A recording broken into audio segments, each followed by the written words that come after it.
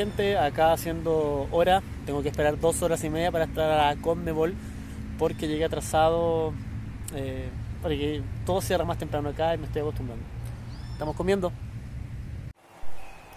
Hola amantes del fútbol, acá estamos en la Conmebol. que se encuentra en Luque, muy cerca de Capiatá y Capiatá está muy cerca de Asunción. Acá están los campeones de la Copa Libertadores de todos los tiempos, de todos los, todos los años, siendo Independiente de Argentina el que ha ganado más veces la Copa. Eh, no, tengo ningún problema con decirlo. Siete veces han ganado ayer la Copa. Seguimos el recorrido.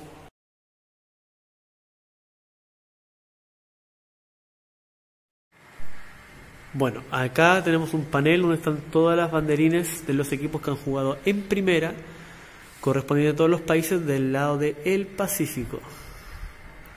Y aquí están los televisores con información de los diferentes países y de los diferentes equipos de cada país. Lastimosamente el de Chile se quemó. está ahí y está quemado, pero cosas que pasan. Cosas del fútbol. Y ahí tenemos a la U de Conce y varios otros equipos reconocidos. Y bueno, acá tenemos al Rey Pelé y muchos de los más destacados futbolistas, historias del fútbol, en lo que corresponde al lado del el Pacífico. Solo el lado del Pacífico. Ya llegaremos al lado de Chile. Está haciendo un pequeño recorrido visual. Acá también tienen televisor donde pueden ir revisando ciertos, ciertas jugadas.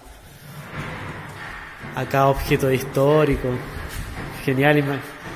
Algunos ahí se recuerdan del balón ese de, cuero que hablaba mucho la gente. Bueno, y Maradona. Bueno, y aquí tenemos al matador Salas.